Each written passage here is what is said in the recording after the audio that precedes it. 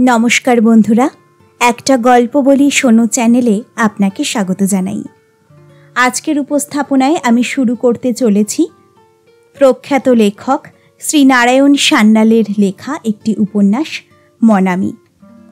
আজকের ভিডিওতে আপনাদের জন্য রইল মনামি উপন্যাসের প্রথম পর্ব। চলুন তাহলে শুনে নেওয়া যাক মনামি।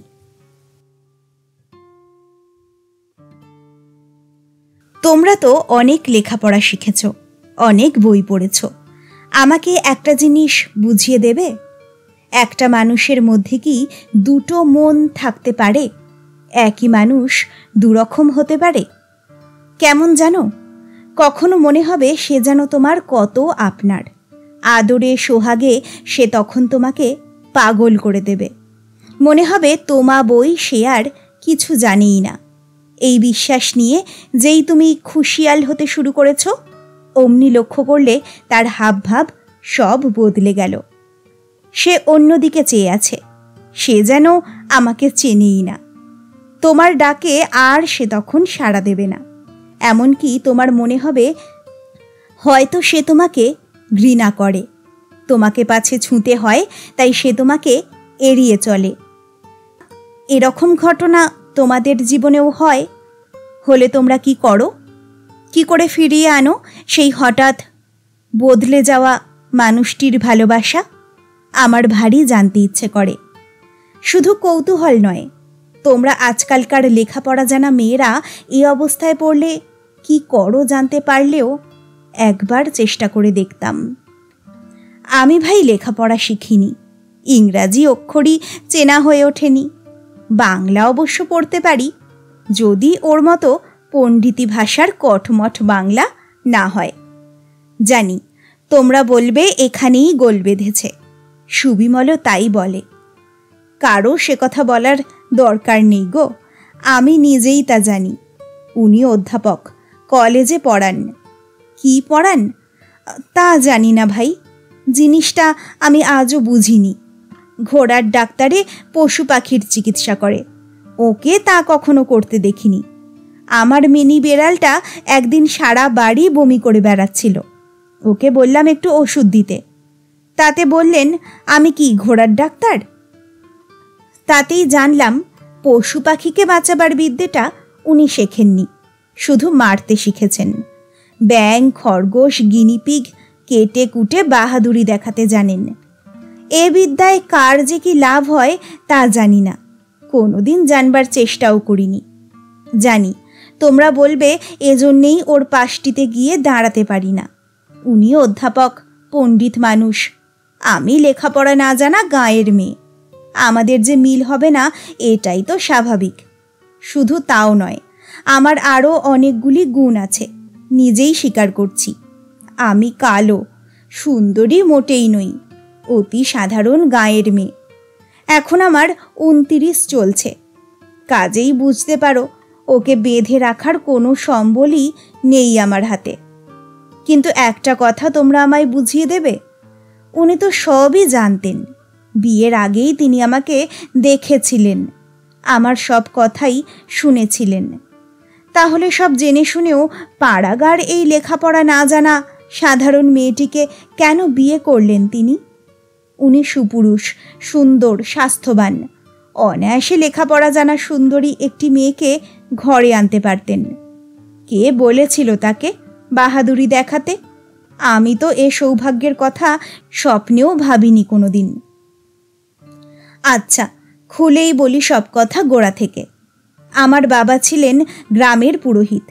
এমন শান্ত, সরল মানুষ আর হয় না। ছেলেবেলাতেই মা মারা যান।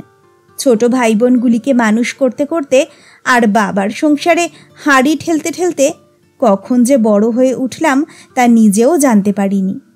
সংসারের কোনো কিছুই বাবার নজরে পড়তো না। কোথা দিয়ে কি করে আমি সংসারটা চালিয়ে নিতাম তার খবরও তিনি রাখতেন না। হঠাৎ একদিন তার খেয়াল হলো যে আমার বয়স হয়ে গেছে, বিয়ে দেওয়া দরকার। বাবার অবশ্য নিজে থেকে সে খেয়াল হয়নি। সেরকম মানুষই নন তিনি। পূজা আর্চা আর বাসুদেবের সেবা নিয়েই তার জীবন কেটে যেত। বোধহয় ভবেশ কাকাই এদিকে তার নজর টেনে এনেছিলেন। ভবেশ কাকা অবশ্য আমার নিজের কাকা নন, ওর স্ত্রী ছিলেন বাবার শিষ্যা। মায়া খুড়িমা মারা যাবার পর ভবেশ কাকার মেয়ে মনু বাবার কাছে মানুষ হচ্ছিল। তার জন্য মাঝে মাঝে কাকা আসতেন। তিনিই বাবা দৃষ্টি আকর্ষণ করলেন আমার দিকে। তারপরেই শুরু হয়ে গেল বাবার আপ্রাণ চেষ্টা। আমাকে পাত্রস্থ করতেই হবে। জীবনের সতেরোটা বছর যে কথাটা জানতে পারিনি, হঠাৎ সেটা আবিষ্কার করলাম। অর্থাৎ আমি সুন্দরী নই। বাবা মাঝে মাঝে ভদ্রলোকেদের নিয়ে আসতেন। সারা দিন আমি নিজের হাতে মিষ্টি গড়তাম। তারপর সন্ধেবেলা নিজে হাতেই সাজগোজ করে তাদের সম্মুখে গিয়ে বসতাম দুরু দুরু বুকে। যে কথাটা জেনেছিলাম অনেক চোখের জলে, সেটাই আর একবার শুনতে হতো। আমি নাকি কালো, আমি সুন্দরী নই। যেন কথাটা এমনই দামি যে ওটা আর একবার শুনবার জন্যে সারা দিন উনুন ধারে বসে গোকুল পিঠে বানাবার দরকার ছিল আমার। তিন চার বছর কেটে গেল এইভাবেই, বাবার বয়স বেড়ে গেল এই কয় বছরে। হঠাৎ যেন বুড়ো হয়ে গেলেন। চুলগুলো সব হু হু করে পেকে গেল। পূজা আর্চাতেও যেন মন দিতে পারতেন না, ঠিক মতো। পাগলের মতো ছোটাছুটি করতেন। সম্ভব, অসম্ভব বাচ বিচার নেই। পাত্রের সন্ধান পেলেই তাদের ধরে আনতেন। আমাকে দাঁড়াতে হতো তাদের সেই কঠিন পরীক্ষায়। আমার বয়স যখন একুশ, তখন বাবা কোথা থেকে সন্ধান পেলেন, শহরের উকিল বাবু তার ছেলের বিয়ে দেবেন। দুটো পাস দিয়ে চাকরিতে ঢুকেছে। দুশো টাকা মাইনে পায়। মনু বুঝি উকিলবাবুর ছেলেকে দেখেছিল শহরে থাকতে। সে এমন বর্ণনা দিল যে বাবা মনে করলেন, এই ছেলের সঙ্গে বিয়ে হবে বলেই এতদিন সব সম্বন্ধ ভেঙে গেছে। আমার কোষ্ঠী দেখে যে তিনি নিজেই বিচার করে বসে আছেন, আমার শিবের মতো স্বামী হবে। মনু আমার চেয়ে দশ বছরের ছোট। তবু এমনি পাকা মেয়ে আমার কানে কানে এসে বলে, তবে এ বিয়ে হবে না রাধাদি। পীতম্বর উকিলের ছেলেকে আমি দেখেছি। ও কখনো শিব নয়, শিবের বেটা কার্তিক। আমি বলি, হতভাগী, এতই বকে গেছিস তুই? বাবা আমার মানা শুনলেন না, ওখানেই কথা তুললেন। জানি, তোমরা হাসছ, বাবার পাগলামির কথা শুনে। এ যে বামন হয়ে চাঁদে হাত।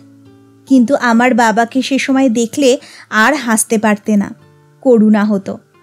উকিলবাবু নেহাতি শহুরে মানুষ, গায়ে এসে মেয়ে দেখতে রাজি হলেন না। বাবাও একেবারে নাছর বান্দা। ওর এক যজমানের ভাইপো বুঝি শহরের কলেজে নতুন চাকরিতে ঢুকেছেন। তার নামে একখানা চিঠি লিখিয়ে নিয়ে আমাকে এনে হাজির করলেন তার বাসায়। সেদিনকার কথাটা স্পষ্ট মনে আছে আমার। না থাকার কারণ নেই। ওই দিনটাই আমার জীবনের মোড় ঘুরিয়ে দিল যে, অধ্যাপক মশাই শুনে ভেবেছিলাম ইয়া রাশভারী লোক হবেন বুঝি। ও মা, এ যে নেহাত অল্প বয়সী, বিয়ে থা করেননি, একা থাকেন। আমাদের আদর করে আশ্রয় দিলেন। তার জ্যাঠামশাইয়ের চিঠিখানা পড়ে বললেন, বেশ তো, আপনারা আমার এখানেই উঠুন। আমার বাড়িতে অবশ্য স্ত্রীলোক কেউ নেই। আপনার মেয়েকেই বলুন এ কদিনের জন্যে সব দেখে শুনে নিতে। বলে আমার দিকে ফিরে বললেন, কোনো লজ্জা করো না, সংসারে কি আছে না আছে দেখে শুনে নাও, যা দরকার হয় আনিয়ে নেবে। তখনই চাকরটাকে ডেকে তার হাতে একটা নোট দিয়ে বললেন, দিদিমণি যা যা চাইবে এনে দিবি। আমি কিছু বলিনি। মাটির দিকে চেয়েই বুঝতে পারি উনি আমার দিকে তাকিয়ে আছেন। লজ্জায় মাটির সঙ্গে মিশে যেতে ইচ্ছা হয়। বাবার দুঃসাহস দেখে মনে মনে তিনি হাসলেন নিশ্চয়ই। সেদিনটা ছিল রবিবার। ওর কলেজ ছিল না। চাকরটা এসে জিজ্ঞেস করে, কি কি বাজার আনতে হবে?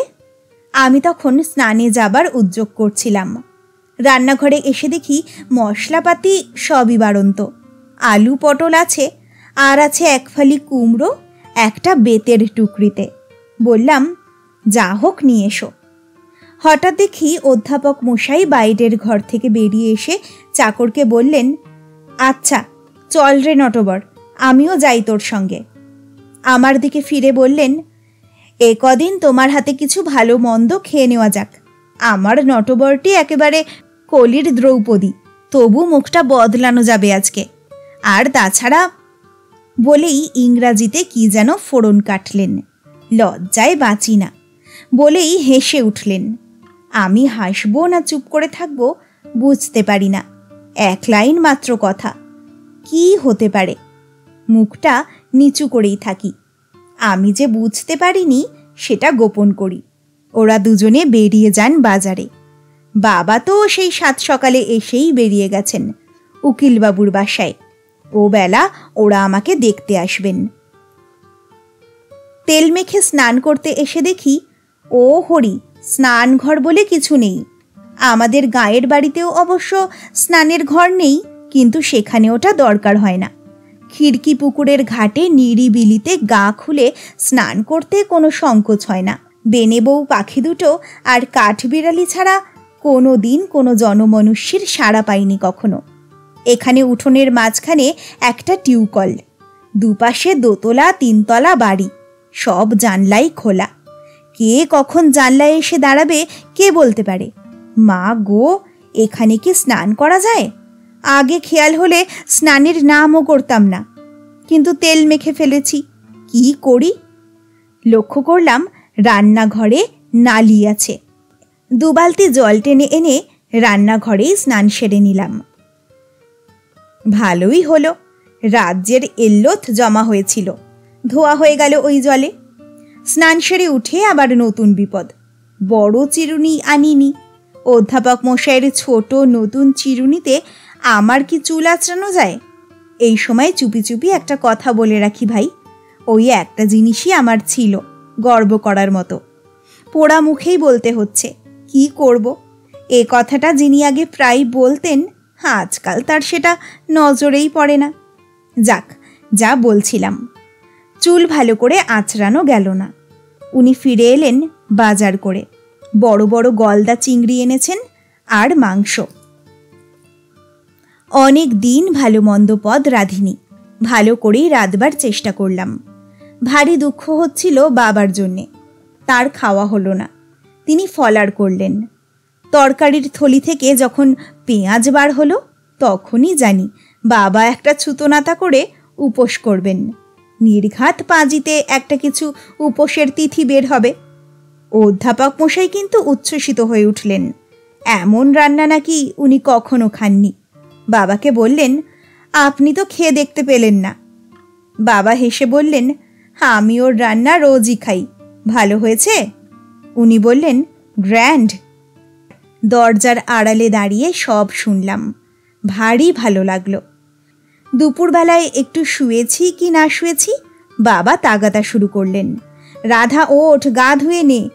বেলা তখন তিনটে। হাসিও পায়, কান্নাও পায়। বাবা আর উনি বসেছিলেন পাশের ঘরে। ওদের কথাবার্তা শোনা যাচ্ছিল এ ঘর থেকে। অধ্যাপক মশাই ইতস্তত করে বাবাকে বললেন, আপনার মেয়ের জন্যে শাড়ি, ব্লাউজ আর ইয়ে প্রসাধনের জিনিস সব এনেছেন তো?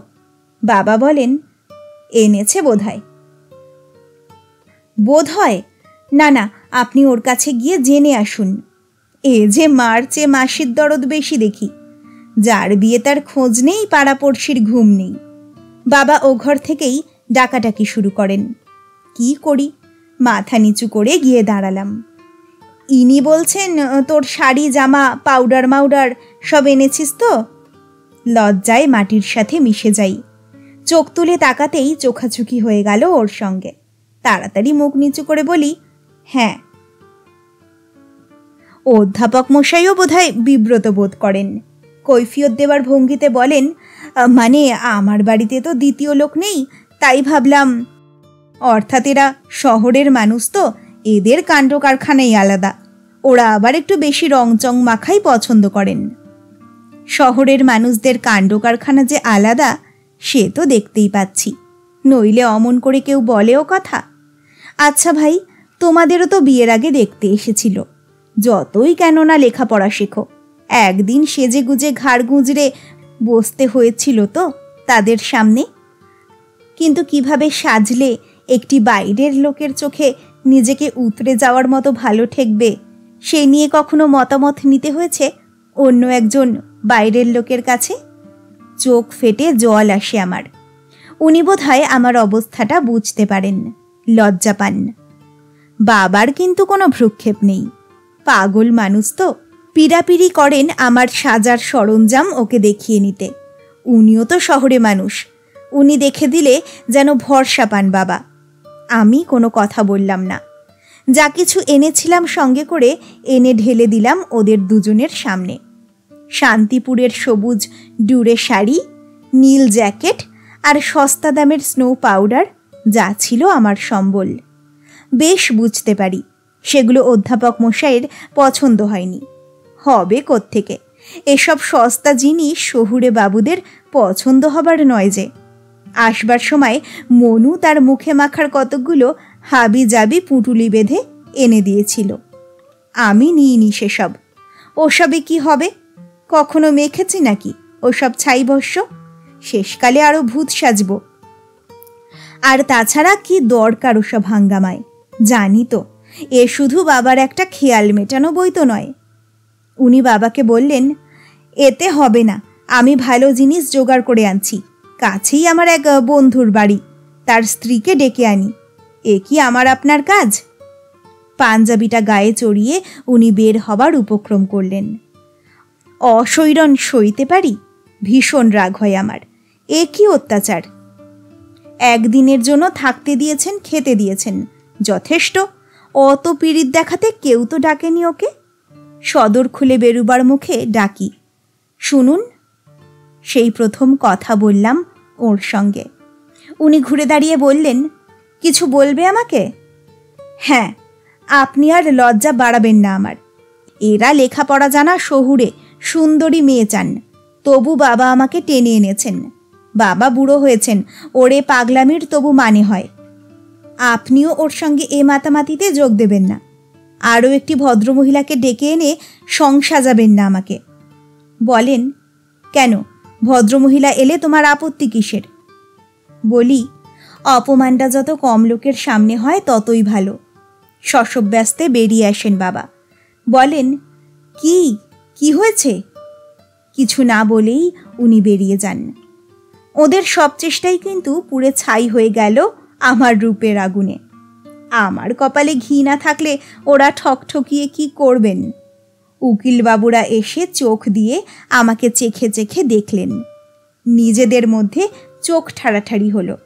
আমি পাশের ঘরে উঠে গেলে একজন বাবাকে বললেন, আপনি বলেছিলেন মেয়েটি উজ্জ্বল শ্যামবর্ণা।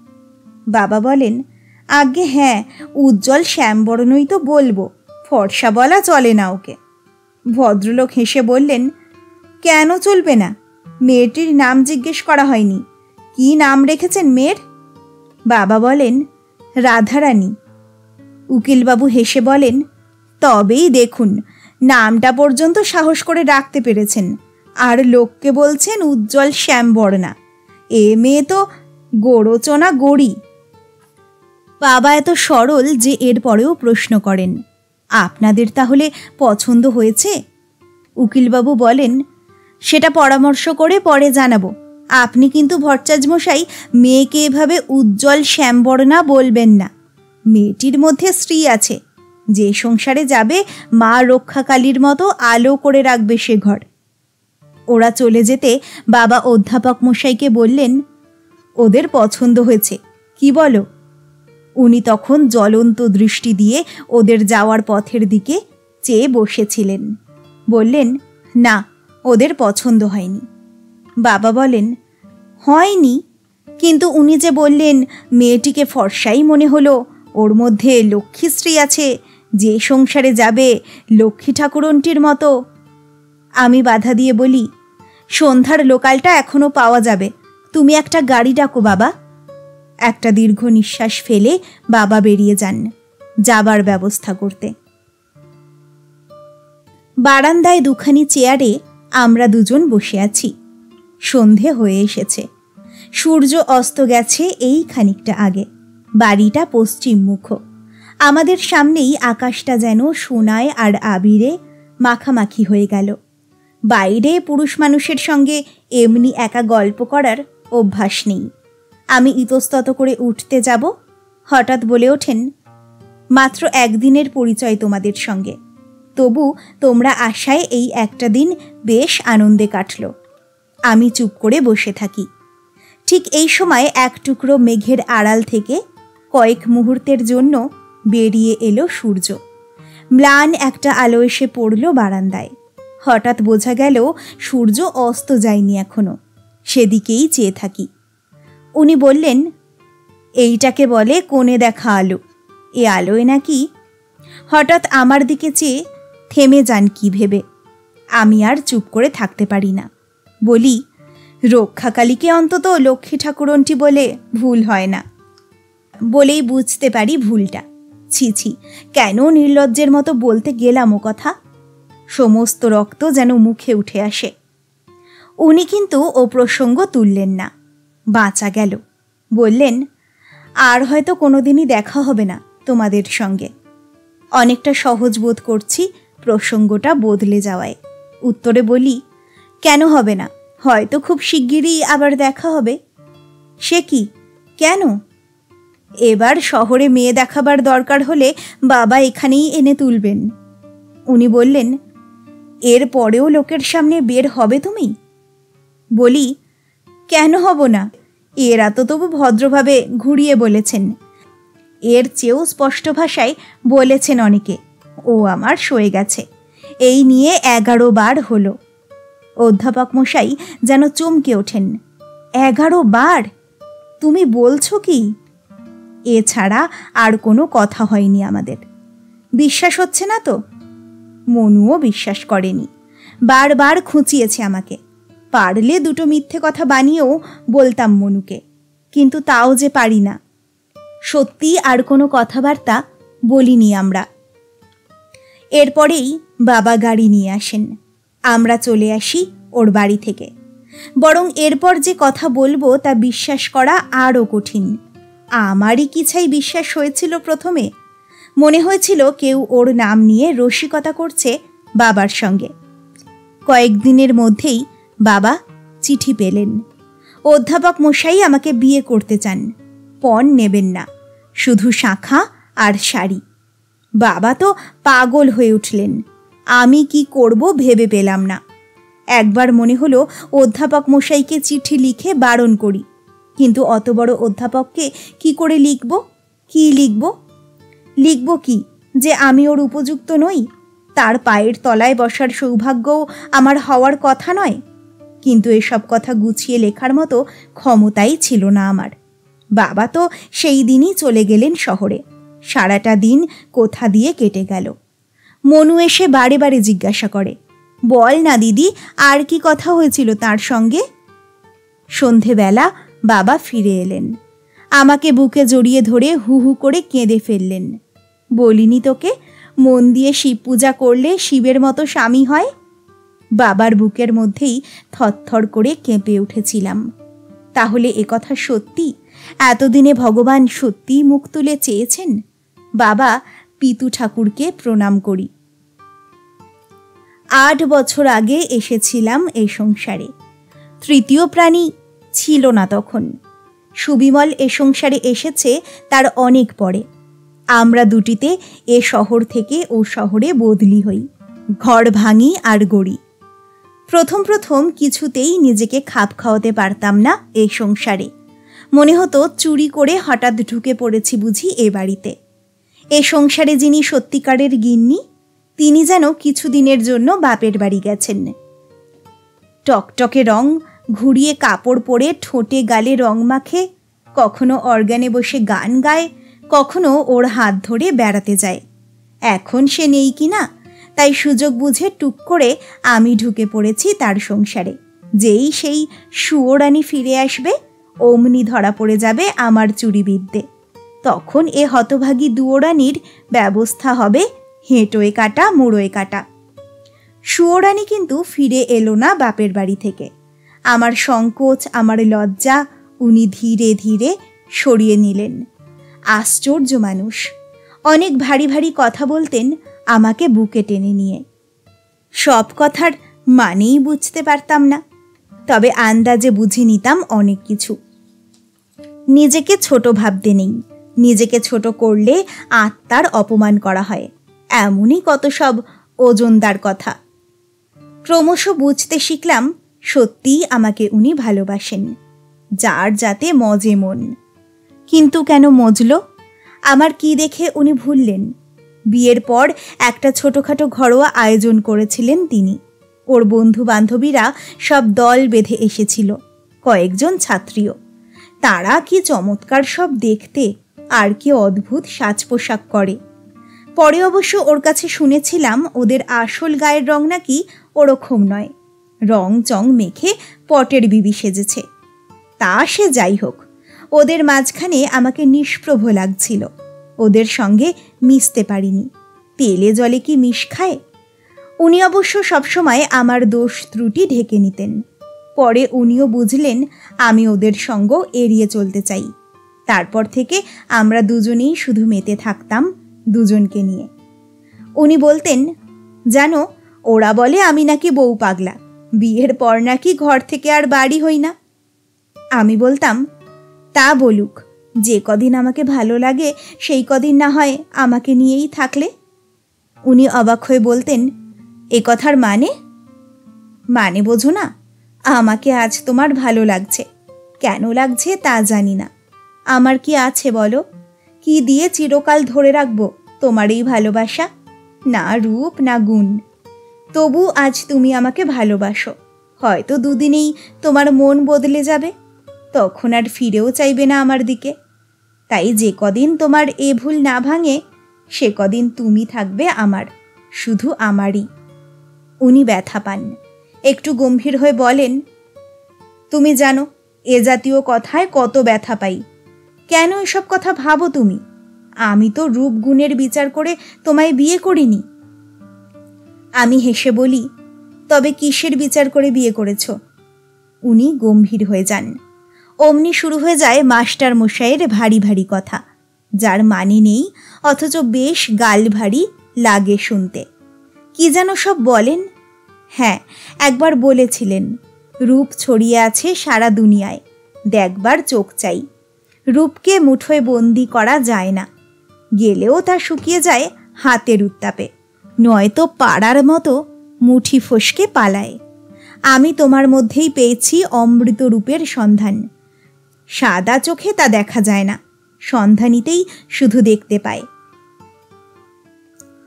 আমি বলি, কিন্তু আমি কি দেব তোমায়? কি আছে আমার? উনি বলতেন, তোমার সবই আছে, নেই শুধু একটি জিনিস। নিজের অন্তরের অনন্ত সৌন্দর্য ভাণ্ডার সম্পর্কে সম্যক ধারণা। আচ্ছা এসব গালভারি কথার কোনো মানে হয়? না হোক, কিন্তু বেশ লাগে। অন্তত এটুকু বুঝতে পেরেছিলাম উনি সাধারণ মানুষের মতো নন। ওর বিচার অন্যরকম। আমার মধ্যে তিনি এমন কিছু একটা দেখতে পেয়েছিলেন, যেটার কথা আমি নিজেই জানতাম না। বুক ভরে উঠত তৃপ্তিতে। আমার মতো স্বামীর ভালোবাসা কজন পায়? বুঝি এ সংসারে আমার মৌরসী পাট্টা হয়েছে। কোনো রূপসী এসে ইংরেজি বকুনি ঝেড়ে আমাকে এ সিংহাসন থেকে নাড়াতে পারবে না। দুনিয়া থেকে অনেক উঁচুতে আমরা দুজনে যেন একটা ছোট্ট পাখির বাসা বাঁধছিলাম, যার সন্ধান কেউ জানত না, যার নাগাল কেউ পেত না। কিন্তু কোথা দিয়ে কি যেন হয়ে গেল, কি যে হলো বুঝিনি সেদিন, আজও বুঝি না। হয়তো বৃহস্পতির দশা পার হয়ে শনির দশায় পড়লাম। উনি একেবারে বদলে গেলেন। বছর তিনেক বিয়ে হয়েছে তখন আমাদের। ওর পরিবর্তনটা লক্ষ্য করলাম হাসপাতাল থেকে ফিরে এসে। সেই উনি প্রথম আমার দেহ নিয়ে খোঁটা দিলেন। এর আগে আমার শরীর নিয়ে কখনো অনুযোগ করেননি। বরং আমি যখন আমার রূপ নিয়ে, রং নিয়ে রসিকতা করেছি, উনি বিরক্ত হয়েছেন। হাসপাতাল থেকে একা ফিরে এলাম কাঁদতে কাঁদতে। স্বপ্নেও ভাবিনি একা ফিরে আসতে হবে। সে এলো, অথচ আমার বুক জুড়ে এলো না। চোখেই দেখতে দিল না তাকে, হাসপাতালের ওরা কাঁথা তৈরি করে রেখেছিলাম, রূপোর ঝুমঝুমি কিনে রেখেছিলাম আলমারিতে। উনিও ভীষণ মুশড়ে পড়লেন। ওর দিকে চেয়ে নিজের মনকে শক্ত করলাম। জানি তো, খোকনের জন্য কতটা প্রত্যাশা নিয়ে অপেক্ষা করছিলেন উনি। কিন্তু আশ্চর্য পরিবর্তন হয়ে গেছে ওর। উনি আমাকে এড়িয়ে চলতে শুরু করলেন। আমাকে যেন সহ্য করতে পারেন না আর। মনে মনে ভাবি, কেন এমন হলো? ভগবানকে ডাকি, হে ঠাকুর, খোকনকে কেড়ে নিলে, এখন কি ওর ভালোবাসাও হারাতে হবে? কি অপরাধ করেছি আমি? শেষে একদিন উনি বললেন সে কথা, আমাকেই উনি দায়ী করেছেন এই দুর্ভাগ্যের জন্য। আমার পাপেই নাকি খোকন এলো না, আমার বুক জুড়ে। কি ভীষণ কথা। আমার পাপে খোকন মারা গেল? আমি প্রতিদিন কায় মনে বাসুদেবের কাছে প্রার্থনা করেছি, যেন সুস্থ সবল সন্তান আসে আমার কোল জুড়ে কতদিন রাত্রে স্বপ্ন দেখেছি, খোকন শুয়ে আছে আমার পাশটিতে। প্রতি ষষ্ঠীতে পুজো দিয়েছি, বার ব্রত উপোস সবই করেছি। যেমন যেমন লিখে পাঠিয়েছিলেন বাবা। তবু আমারই হলো দোষ বাবা বলতেন, বাবা মায়ের পাপেই শিশু মৃত্যু। আমি তো জ্ঞান তো কোনো অন্যায় করিনি। তবে উনিও তো কখনো কোনো পাপ কাজ করতেন না। তাহলে? তখনও আসল কথাটা জানতাম না। আমার তখন ধারণা ছিল, বুঝি ডাক্তারবাবুরা অসাবধান হওয়াতেই খোকন চলে গেছে। ডাক্তারবাবু নিজের দোষটা এখন আমার ঘাড়ে চাপাতে চাইছেন। বললাম সে কথা ওকে। শুনে উনি আরও বিরক্ত হন। উনি যে আমার কথা না শুনেই রায় দিয়ে বসে আছেন, আমিই দোষী। বাধ্য হয়ে মেনে নিই কী করব তাছাড়া? উনি পণ্ডিত মানুষ, চোখের জলে ভেসে বলি, ওগো, না হয় আমারই দোষ, কখনো অন্যায় করব না, তুমি আমাকে ক্ষমা করো। শুনে উনি আরও বিরক্ত হন। কেমন যেন আর সহ্য করতে পারেন না আমাকে। দূরে দূরে সরে থাকেন। সর্বদাই এড়িয়ে চলেন, কাছে গেলে সরে যান। আগেকার মতো আদর করা, সোহাগ করা তো দূরের কথা। আমার খাটে একসঙ্গে শুতেও আসতেন না। ওই যে কথায় বলে না, যখন আদর জোটে ফুটকলাই দিয়ে ফোটে। যখন আদর ছোটে, ঢেঁকি দিয়ে কোটে। ওরও তখন সেই বৃত্তান্ত। ডবল বেডের বড় বিছানা ছিল আমাদের। আজ তিন বছর আমরা এখানেই দুজনে শুই। উনি কিছুদিন আগে একটা ছোট খাট বানিয়েছিলেন। বলতেন, খোকন হলে তুমি ওকে নিয়ে বড় খাটে শোবে, আর আমি শোবো ছোট খাটে। আমি বলতাম, কেন? তিনজনেই বড় খাটে শোবো? উনি আপত্তি করতেন, না, তাহলে খোকনের অসুবিধা হবে, আমি আলাদাই শোবো। ভয় নেই, ঘুম আসার আগে পর্যন্ত বড় খাটেই শোবো তিনজনে। ওই যে তুমি কি ছড়া কাটো না? হলে সুজন তেঁতুল পাতায় দুজন। খোকন অবশ্য এলো না। উনি কিন্তু ছোট খাটেই গিয়ে আশ্রয় নিলেন। ঘুম আসার আগে তো দূরের কথা। ভুলেও আমার বিছানার দিকে আসতেন না। সুজন যে আর সুজন নেই। বুঝলাম আমার কপাল ভেঙেছে। এটা আশঙ্কা করেই ছিলাম এতদিন। উনি বারে বারে বুঝিয়েছিলেন যে রূপ যৌবনের বিচারে আমাকে উনি ভালোবাসেননি। বোকার মতো সেটা বিশ্বাস করেছি। হাসপাতাল থেকে ফিরে এসে বুঝতে পারি নিজের ভুল। বাচ্চা হবার পর আরও খারাপ হয়ে গিয়েছিল চেহারা। আয়নায় দেখে নিজেরই করুণা হতো। উনি বলতেন, তোমার শরীরে ত্রুটি আছে। ওগো, এ আর কি নতুন কথা শোনাচ্ছ তুমি। কি করতে পারি? আমার এ রূপে যদি তিনি আকৃষ্ট না হন, যদি শরীরের ত্রুটিগুলোই শুধু নজরে পড়ে, তবে দোষ দেব কাকে? উনি তখনও সুন্দর, সুপুরুষ, ওর পাশে গিয়ে দাঁড়াতে নিজেরই লজ্জা হতো। উনি আমাকে বেড়াতে নিয়ে যেতে চাইতেন। কি লজ্জা! এই চেহারা নিয়ে ওর পাশাপাশি কখনো পথে বার হওয়া যায়? বুঝতে পারি। আমার মধ্যে ওই যে কি একটা জিনিস ছিল? যা আমি জানতাম না, অথচ উনি দেখতে পেতেন, সেইটা আমাকে ছেড়ে চলে গেছে। তাই আর উনি আমাকে সহ্য করতে পারেন না। ভুলেও চোখ তুলে তাকান না আমার দিকে। বাইরের ঘরে রাত জেগে পড়াশোনা করেন। আমি একা বিছানায় পড়ে কাঁদি। তারপরে কখন নিঃসারে একা শুয়ে পড়েন নিজের খাটে। আমি টের পাই সাড়া দিই না। কি হবে, লজ্জা বাড়িয়ে মাঝে মাঝে মন মানত না। বিদ্রোহ করেছি তখন। মাঝরাতে ডেকে তুলেছি ওকে। জোর করে ঘুম ভাঙিয়ে দিয়েছি, যেন একটা কলের পুতুলের ঘুম ভাঙল। ভেতরের মানুষটার ঘুম আর ভাঙল না। কালে সবই সয়ে যায়। হয়তো ওরই এই হেলাছেদ্দাও মেনে নিতাম শেষ পর্যন্ত। হয়তো ওর কথাই বিশ্বাস করতাম। আমারই অজানা পাপে খোকনকে মেরে ফেলেছি আমি। এমনকি হয়তো ওর এই ঘেন্না, এই অশ্রদ্ধা সত্ত্বেও ওকে আমি ভালোবাসতাম বাকি জীবন। কেন বাসবো না? আমি সত্যিই ওর উপযুক্ত নই। কিন্তু হঠাৎ এই সময় আসল কথাটা জেনে ফেললাম একদিন। সেবার উনি কলকাতা থেকে সুন্দর একজোড়া খরগোশ নিয়ে এলেন। কি চমৎকার সাদা ধপধপে রং, কুঁচ ফলের মতো লাল একজোড়া চোখ, একেবারে বাচ্চা। বুঝতে পারি আমার জন্যেই এই দুটি এনেছেন উনি। দখল করলাম খরগোশ জোড়াকে। ঘাস পাতা খাওয়াতাম নিজের হাতে। চাকরটাকে দিয়ে কাঠের খাঁচা বানালাম। তারের জালতি লাগিয়ে দিলাম। উনি হেসে বললেন, বারে, এ দুটোকে কি আমি তোমার খেলার জন্য এনেছি নাকি? তুমি যে একেবারে দখল করেছ খরগোশ জোড়াকে। মনে মনে হাসি। বুঝি গো মশাই, সবই বুঝি। এটুকুও কি বুঝব না? পুরুষ মানুষে আবার নাকি খরগোশ পোষে। লোকে খরগোশ কেনে বাড়ির ছেলে মেয়ের জন্য।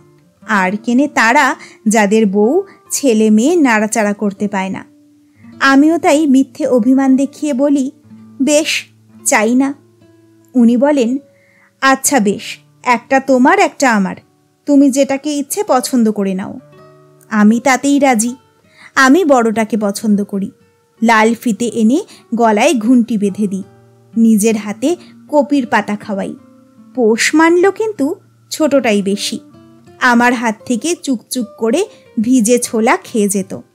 ওদের নিয়ে একেবারে মেতে উঠলাম। কি করব বলো ভাই? ছেলে পিলে নেই, বই পড়া আসে না, স্বামীর মন পাই না। মেতে রইলাম খরগোশ জোড়াকে নিয়ে।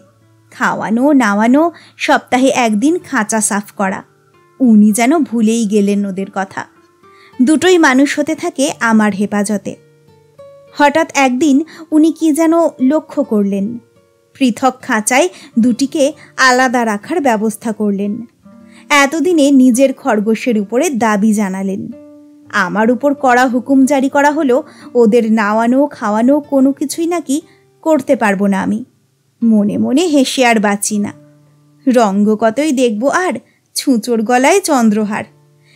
নিজের ঘড়ি, কলম, মানিব্যাগ কোথায় যার হুঁস থাকে না, উনি মনে করে ওদের খেতে দেবেন, স্নান করাবেন, জল দেবেন। বেশ, দেখা যাক দৌড়টা কত। যা ভেবেছিলাম, ছোট খরগোশটার খাবারে কম পড়ছিল। বেচারি ছটপট করে খিদের জ্বালায়। খাবার দিতে গিয়ে দেখি খাঁচায় তালা লাগানো রয়েছে। ভারী রাগ হলো। চাকরটাকে পাঠিয়ে দিলাম কলেজে।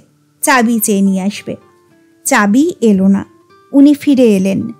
আমি তখন একটা একটা করে ভেজানো ছোলা খাওয়াচ্ছি ওকে, তারের জালতির ফাঁক দিয়ে। উনি এসেই আমাকে ধাক্কা দিয়ে সরিয়ে দিলেন। প্রায় পড়ে যেতে যেতে সামলে নিলাম। চাকরটার সামনেই ধমকে উঠলেন আমাকে। ওর এ মূর্তি কখনো দেখিনি। চোখ দুটো লাল হয়ে উঠেছে। মুখ চোখ থমথম করছে। কঠিন স্বরে বললেন, তোমাকে বলিনি ওকে কিছু খেতে দেবে না? কেন খেতে দিয়েছ ওকে? চোখ ফেটে জল এলো আমার।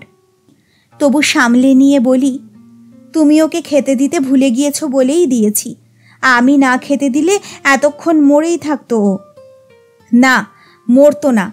আর মরে বাঁচে সে বুঝব আমি। এটাকে কিছু খেতে দেবে না, বুঝেছ? ভীষণ রাগ হলো আমার। এতদিনে উনি দাবি জানাতে এসেছেন। না বিয়ে উনি কানাইয়ের মা হয়েছেন। কে বড় করল ও দুটিকে? এতটুকু বাচ্চা থেকে? কোথায় ছিলেন উনি তখন? আর আমার সেই পোশাক খরগোশ মরে বাঁচে সে বুঝবেন উনি? আমার বুঝবার অধিকার নেই। আমি বলি, হয় তুমি খাঁচা খুলে ওকে খেতে দাও, না হয় আমি এভাবেই খাওয়াবো। উনি বললেন, না, দেবে না। আমি বারণ করছি। বলি, তোমার বারণ মানি না আমি। উনি জ্বলন্ত দৃষ্টি দিয়ে আমার দিকে চেয়ে রইলেন কিছুক্ষণ। তারপর হঠাৎ কি যেন বললেন নিজের মনেই। ইংরেজিতে, আমার রাগ আরও চড়ে যায়। উনি জানেন, আমি ইংরেজি বুঝি না।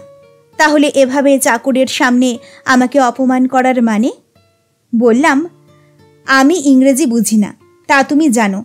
যা বলতে চাও তা সহজ করে বলো। হ্যাঁ ইংরেজি বোঝো না, বাংলাও জানো না। তুমি বোঝো অন্য এক রকমের ভাষা।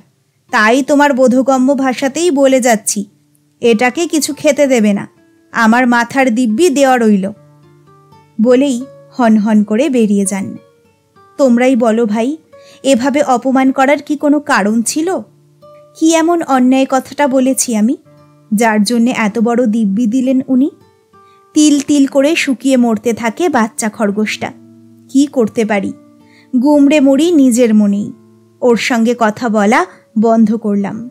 সারা রাত গুম মেরে পড়ে থাকি। উনিও নিজে থেকে ভাব করতে আসেন না। আসবেন না, জানতাম। আজকাল আমাকে এড়িয়ে চলতে পারলেই বাঁচেন। ঝগড়া হওয়ায় নতুন ছুতো হয়েছে। জো পেয়ে গেছেন উনি। ওর তো মজাই। পরদিন চাকরটা ফাঁস করে দিল। উনি অফিস যাওয়ার সময়। শুনে উনি এসে দাঁড়ালেন আমার খাটের কাছে। ঘুমিয়ে থাকার ভান করে মিটকি মেরে পড়ে থাকি। কাল থেকে কিছু খাওনি শুনলাম? আমি চুপ। উনি বসে পড়েন আমার খাটের পাশে। চোখের উপর থেকে জোর করে হাতটা সরিয়ে দিয়ে বলেন, আমায় মাপ করো তুমি। হঠাৎ রাগের মাথায় রুড়ো কথা বলেছি। ওঠো লক্ষ্মীটি, খেয়ে নাও। আমার অবস্থা তখন একবার ডাকিলেই খাইতে যাইব। এত মিষ্টি কথা অনেক দিন শুনি না। আমার রাগ জল হয়ে গেল। বলি, তাহলে চাবিটা দাও, ওটাকে খাইয়ে আসি? উনি বলেন, না, ওকে কিছু খেতে দিও না। ওর বাচ্চা হবে। বিভিন্ন ভিটামিনের অভাবে বাচ্চার পরিণতি কীভাবে ব্যাহত হয় তাই পরীক্ষা করছি আমি। আমি অবাক হয়ে যাই। ছোটটা মাদি খরগোশ? ওর বাচ্চা হবে? কিন্তু ভরপেট খেতে পাবে না সে। কেন? ওর একটা নিষ্ঠুর খেয়াল মেটাতে হবে বলে। আমি দৃঢ়স্বরে বলি, এ হতে পারে না। উনি বলেন, দেখো, তোমার মত আর পথ আমার মত আর পথ থেকে ভিন্ন। সে কথা জেনেই বিয়ে করেছিলাম তোমাকে। ভেবেছিলাম প্রেমের ত্রিবেণীতে গিয়ে মিলবে আমাদের জীবনের ভিন্নমুখী ধারা। তা তুমি হতে দিলে না। আমি তোমার বার ব্রত ছুঁতমার্ঘ মেনে নিলাম, মানিয়ে নিলাম। তুমি কিন্তু বিজ্ঞানকে স্বীকার করতে পারলে না। এক তিল নিজের জীবনটা ব্যর্থ করে দিয়েছ, অসহনীয় করে তুলেছ আমার জীবনটাকেও। আমি বুঝিয়েছি, যুক্তি দিয়ে সমতে আনার চেষ্টা করেছি, পারিনি। আমি জবরদস্তি করতে পারতাম, করিনি। আমার ব্যক্তিগত জীবনে তোমার সংস্কারাচ্ছন্ন রুচিকেই সম্মান জানিয়ে এসেছি। আমার অনুরোধ আমার বৈজ্ঞানিক পরীক্ষাতেও তুমি হাত দিতে এসো না, এ তুমি বুঝবে না। আমি আর্তকণ্ঠে বলেছিলাম, এর আগেও তুমি এরকম পরীক্ষা করেছ? হ্যাঁ। কেন?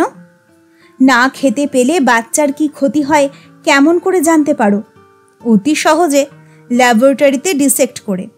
ডিসেক্ট কি? পেট কেটে। কথা ফুটল না আমার মুখে। অনেক দিনের একটা সমস্যার সমাধান হয়ে গেল। সব পরিষ্কার হয়ে যায়। এত নৃশংস আমার স্বামী। ওই এলো ভুলো মানুষটি, যে দয়া করে বিয়ে করেছে গায়ের এক সাধারণ মেয়েকে বিনা পণে। এ পাপের স্পর্শ লাগবে না আমার সংসারে। ওপরে ভগবান নেই, তিনি কি অন্ধ? আর সবচেয়ে আশ্চর্যের কথা, নিজের পাপের ফল উনি চাপাতে চাইছেন আমার ঘাড়ে। আমার অপরাধেই নাকি খোকন এলো না আমার বুক জুড়ে। উনি খেতে না দিয়ে খরগোশটাকে আধমরা করবেন। তারপর নিয়ে যাবেন কলেজে। পেট চিরে বের করবেন বাচ্চাটাকে। দেখবেন ওর নৃশংসতার কতদূর ফল হয়েছে। এরপর কোনোদিনও সুস্থ সবল সন্তান আসতে পারে আমার কোলে।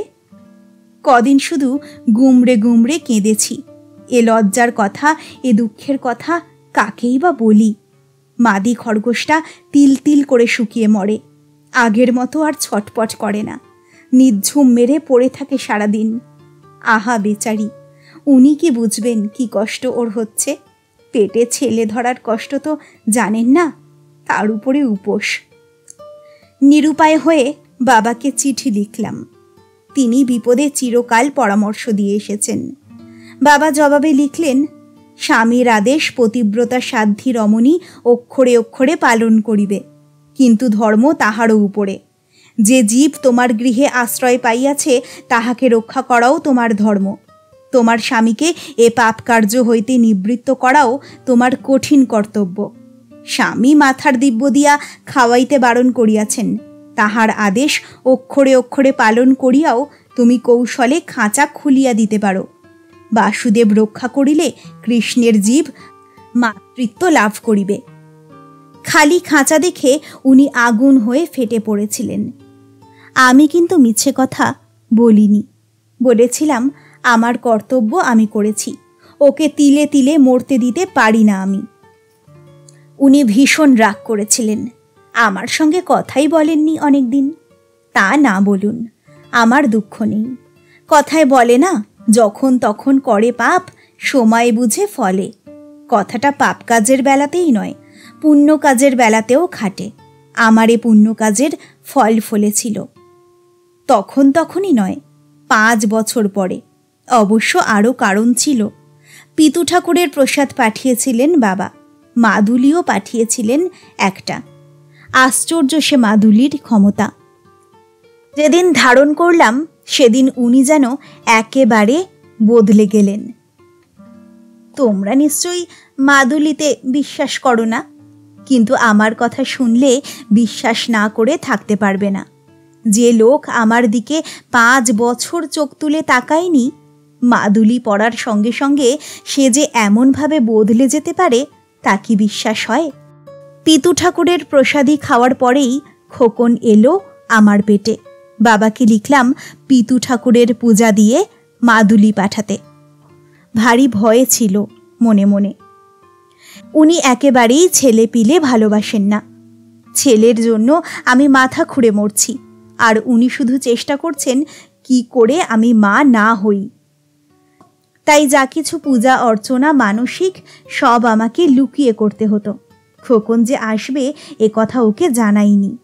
যেরকম বদমেজাজি লোক, যদি চটে ওঠেন। যদি জানতে পারেন পিতু ঠাকুরের দৌড় ধরে আমি এটা করেছি তাহলে কি আর উনি আমাকে আস্ত রাখবেন? কিন্তু লুকিয়েই বা রাখব কতদিন? বলতে তো হবেই একদিন। এমনইভাবে নিজের মনেই ভেবে মরছি। এমন সময় বাবা, মাদুলি আর পুজোর ফুল পাঠালেন। মাদুলি কিসের? আমি বলি, পরে বলব। সারাদিন উপোস করে সন্ধেবেলা স্নান সেরে নিয়ম মতো মাদুলি ধারণ করলাম। যেমন নির্দেশ ছিল। রাত্রে সাহসে ভর করে মরিয়া হয়ে বলেই ফেললাম। শুনে অবাক হয়ে গেলেন তিনি। প্রথমটা বিশ্বাসই করতে চান না। শেষে যখন শুনলেন চার মাস হয়ে গিয়েছে, তখন, থাক ভাই, সব কথা তো আর বলা যায় না। কিন্তু তোমরা যা আশঙ্কা করছ তা মোটেই হয়নি। উনি একটুও রাগ করেননি। আমি স্বপ্নেও ভাবিনি রাতারাতি মাদুলির এতটা ফল হবে। অদ্ভুত খুশি হয়ে উঠলেন তিনি। আদরে সোহাগে একেবারে পাগল করে দিলেন আমাকে। পাগল বলেকেই বলে? এতদিন চেষ্টা করছিলেন যেন আমি মা হতে না পারি। পাঁচটা বছর এই নিয়ে কত কষ্ট সহ্য করেছি। আমি নাকি স্বাভাবিক নই, আমার বুক জুড়ে সন্তান এলে নাকি উনি দুঃখিত হবেন। আর যেই শুনলেন যে আমি মা হতে চলেছি, অমনি হাসছ তো? জানি হাসবেই। ওর পাগলামি দেখে আমিও হেসেছিলাম সেদিন। এলো ভুলো মানুষটি একেবারে হিসেবের গুরু ঠাকুর হয়ে উঠলেন। কারও বউয়ের যেন আর বাচ্চা হয় না। ওই যে বলে না, আদে গেলোর ঘটি হলো, জল খেতে খেতে প্রাণ গেল। ওরও সেই বৃত্তান্ত। পরদিনই কলকাতায় নিয়ে গেলেন আমাকে। ডাক্তার দিয়ে দেখানো হলো। শিশি শিশি ওষুধ, ছুঁচ ছুঁচ ইঞ্জেকশন কি কাণ্ড! সপ্তাহে সপ্তাহে ওজন নাও, নিয়ম মাফিক খাও, রোজ বিকেলে ওর সঙ্গে বেড়াতে যেতে হয়। এত অত্যাচার কখনোই সইতাম না। কিন্তু একটা কারণে আমি কোনো আপত্তি করিনি। কথাটা স্বীকার করতে লজ্জা হয়। মাদুলি ধারণ করার পর থেকে উনি হঠাৎ রাতারাতি বদলে গেলেন। যেন সেই মানুষই নয়, যেন আট বছর আগেকার দিনগুলো, সেই বিয়ের পরেকার টাটকা দিনগুলো ফিরে এসেছে আবার। আজকের সেই পাঁচটা বছর যেন স্বপ্ন কথা কই, উনি তো আমার কোনো ইচ্ছাই এড়িয়ে যান না। তবে কি ভুল বুঝেছিলাম? কিন্তু সুখের দিনগুলো কি ছোট। কমাস আগে যখন দ্বিতীয়বারের মতো হাসপাতালে যাই, তখন কি স্বপ্নেও ভেবেছিলাম, ফিরে এসে দেখব আবার সব লণ্ডভণ্ড হয়ে গেছে। মাদুলিটাও কি কোনো অনাচারে নষ্ট হয়ে গেল? না হলে এমনভাবে আবার উনি বদলে গেলেন কেন? খোকন হবার পর? সারাদিন আবার উনি বই নিয়ে পড়ে থাকেন বাইরের ঘরে। মাঝে মাঝে চিৎকার করে জিজ্ঞাসা করতে ইচ্ছে করে, ওগো দয়াময়, এ কেমন তোমার ব্যবহার? দয়া করে বিয়ে করেছিলে আমাকে। দয়া করে ভালোবেসেছ কখনো কখনো? আবার মাঝে মাঝে এমন ঘৃণা ভরে দূরে ঠেলে দাও কেন? হাসপাতালে যাবার আগে আমি ছিলাম সুখের সুয়োরানি। সোনার চাঁদ ছেলে কোলে নিয়ে ফিরে এসে দেখছি কখন অজান্তে আবার দুয়োরানি হয়ে গেছি। কেন? কি অপরাধ হলো আমার? এ যেন একেবারে গল্প কথা। গল্পের রাজা যেমন রাতারাতি রাখাল হয়ে যায়, আমারও তাই হলো। কালকে ছিল সোনার পিঁপড়ে, আজ বসেছি আস্তা কুড়ে ওকে আমি বুঝতে পারিনি পারবও না কোনো দিন একদিকে উনি স্নেহশীল, দয়াময়, কোমল, ভাবুক মানুষ তখন অল্প আঘাতে ওর চোখে জল আসে। তখন গায়ের কালো কন্যেকে এনে বসান সোনার সিংহাসনে। আদরে সোহাগে তাকে পাগল করে দেন। তখন সে সুয়োরানির শাড়ি, গহনা, সুখ, স্বাচ্ছন্দ্য সব ব্যবস্থা করতে থাকেন। তারপর কোথা থেকে কি হয়ে যায়? উনি বদলে যান একেবারে, যেন অন্য মানুষ। নৃশংস, নির্দয়, যেন পাথরে গড়া। তখন জ্যান্ত ব্যাং গিনিপিককে টেবিলে চিত করে ফেলে, হাতে পায়ে পিন ফুড়ে, উহ, তখন ভুলেও আমার দিকে তাকান না। কাছে গেলে সরে যান, যেন অস্পৃশ্য, অসুচি আমি সেই মুহূর্তে বোধহয় দুনিয়ার ঘৃণ্যতম পাপও উনি করতে পারেন অম্লান বদনে। বিশ্বাস করো না, আমি প্রমাণ দেব। আমার কাছেই তিনি এমন ঘৃণিত পাপের প্রস্তাব করেছিলেন যে শুনলে শিউরে উঠবে তোমরা। কে বলবে, পণ্ডিত অধ্যাপকের এমন বিকৃত রুচি থাকতে পারে? স্বামী হয়ে স্ত্রীকে এ কথা বলতে পারে? আর শুধু বলা নয়, সেই অধর্মের পাপ কাজে আমাকে সহায়তা করতে বলেছিলেন। খোদার উপর খোদগিরি করবেন উনি। ভগবানের বিধান পাল্টে দেবেন। চন্দ্র সূর্য যেন এখনও উঠছে না। কত অনুরোধ, উপরোধ? এক আধ দিন নয়, প্রতি রাত্রে। সে কাজের কি সব সাজ সরঞ্জাম পর্যন্ত কিনে এনেছিলেন? স্বামীর কথার কখনো অবাধ্য হইনি। এবারে হতে হলো। কি করব? ধর্ম সবার ওপরে আমি তাই ঘৃণা ভরে প্রত্যাখ্যান করেছিলাম ওর পাপ প্রস্তাব। কি প্রস্তাব? সে কথা ভাই মুখ ফুটে বলতে পারব না আমি। এখানেই শেষ হলো মনামি উপন্যাসের প্রথম পর্ব। খুব তাড়াতাড়ি ফিরে আসছি দ্বিতীয় পর্ব নিয়ে। সকলে ভালো থাকুন, সুস্থ থাকুন। নমস্কার।